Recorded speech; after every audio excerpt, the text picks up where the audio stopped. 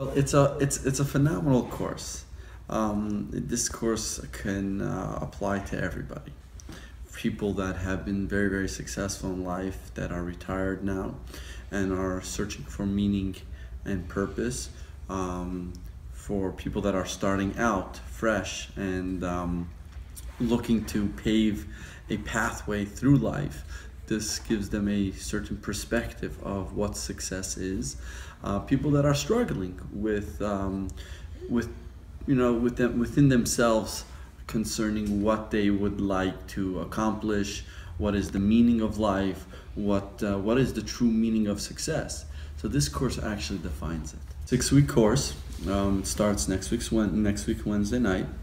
Um, it's normally around an hour and a half, sometimes a little longer, depending on the questions and depending on the involvement of the class. Um, it's a diverse group from all different walks of life. Um, and it's a it's a very good class. It's a class that actually uh, permeates a lot with myself, and uh, because of that, it automatically gives me a certain excitement to give it over and to teach it to others as well. So this is the Chabad Center. Um, we have, of course, we have the big menorah here that a whole year, the whole purpose of the Chabad Center is to bring light into this world. To bring, um, in a world that sometimes seems dark, it's actually to bring a little bit of light, one spark at a time.